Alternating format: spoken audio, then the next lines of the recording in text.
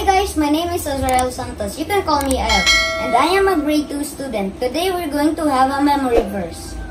First is John 3:16.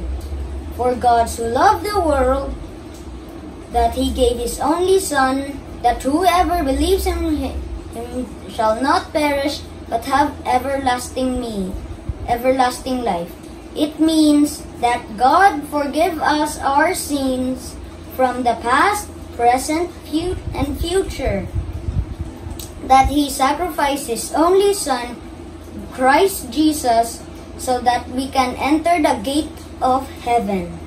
Second is Ephesians 6 verse 1. Children, obey your parents in the Lord, for this is right. It means that that, that parents are older and wiser and gain life experiences that we that it can pass to us.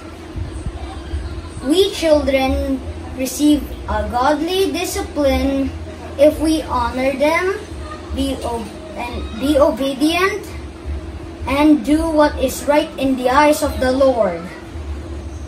The third is Colossians 4 verse 19. And my God will meet all your needs according to his glorious riches in Christ Jesus. It means we can overcome our worries and worldly desires even if we had problem.